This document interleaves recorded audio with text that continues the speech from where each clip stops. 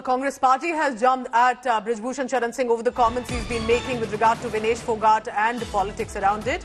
Congress leader slamming the BJP and Brijbhushan here uh, that uh, for criticizing uh, Vinesh Fogart. And when I say Congress leader, I now mean Bajrang Punya, who's been a wrestler as well, of course, and has been with Vinesh Fogart in the fight on the streets. Brijbhushan, uh, he says, and BJP have a problem that we joined Congress. We would have become patriots if we had joined the Bharatiya Janata Party. But because we decided to join the Congress party, they are now calling us anti-nationals. हमारे नेता राहुल जी जो वो अभी प्रयास कर रहे हैं संघर्ष कर रहे हैं हम उस संघर्ष में उनके साथ खड़े हैं क्योंकि वो किसान की जवान की खिलाड़ियों की हर वर्ग की आवाज़ उठा रहे हैं तो हम उनके साथ कंधे से कंधा मिला के मजबूती के साथ काम करेंगे और जो लोग बोल रहे हैं बीजेपी के ब्रजभूषण है ब्रजभूषण को तो मुझे लगता है मीडिया ने ज़्यादा हैवी कर रखा है।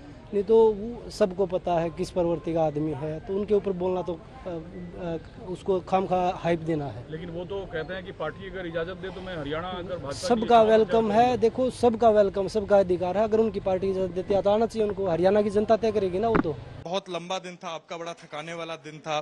कांग्रेस ने आपको प्रत्याशी बनाया है इस सीट से क्या कहना चाहेंगे?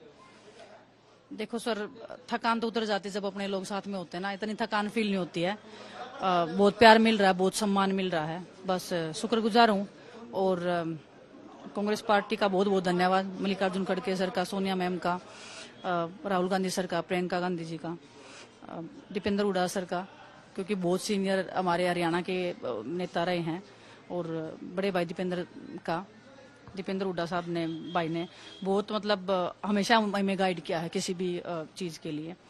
तो बस सभी का मैं शुक्रगुजार हूँ, धन्यवाद हूँ, और एक ऐसी पार्टी से जुड़ने का मौका मिला है जो हमारे साथ बुरे से बुरे टाइम में भी खड़ी थी, और आगे भी खड़ी रहेगी किसी भी महिला के साथ में जो भी, कभी भी गलत होगा। बस उनको आश्वस्त करना चाहती हूँ कि जो मेहनत हमने कुश्ती में की है, इतनी मेहनत हम अपनी करेंगे, और जो लोगों का प्यार है, जो सम्मान है, उसका हम बना के रखेंगे, और एक अच्छे अच्छी शुरुआत करेंगे हम जुलाना से। दिनेश आपने जब से कांग्रेस ज्वाइन किया तब से भारतीय जनता पार्टी का जो आक्रामक रुख है आपकी तरफ़ जो और बढ़ता जा रहा है। इसी बीच बयान आता है अनिल विज का कि अब वो कांग्रेस की बेटी बन गई या भारत की बेटी की जगह। दूसरी तरफ़ ब्रिजभूषण शरण सिंह, जिनके खिलाफ आप धरना प्रदर्शन कर रहे थे, वो ये बयान देते हैं आज तक से बातचीत करते हुए कि मुझे बड़ी खुशी है कि विनेश गोल्ड मेडल नहीं जीती। ऐसे बयान आ रहे हैं, इन बयानों को आप कैसे देखते सर, हम तो डेढ़ दो साल से यही बयान नहीं सुन रहे हैं, जेल ही रहे हैं। ओलंपिक्स में जा रहे तब भी ऐसे ही बोल रहे हैं। अगर नहीं जा रहे हैं, तब भी ऐसे ही बोल रहे हैं। उनकी मानसिकता दर्शाता है, अगर वो बोल रहे हैं कि किसी भी खिलाड़ी का अगर ओलंपिक्स जैसे लेवल पे अगर मेडल नहीं आता है, वो बोल रहे हैं कि मुझे खुशी हुई।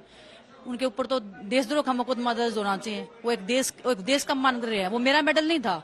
वो देश का मेडल था, देशवासियों की मेहनत थी, देशवासियों का प्यार था और उस प्यार को वो ठुकरा रहे हैं, उस प्यार को वो अनादर कर रहे हैं।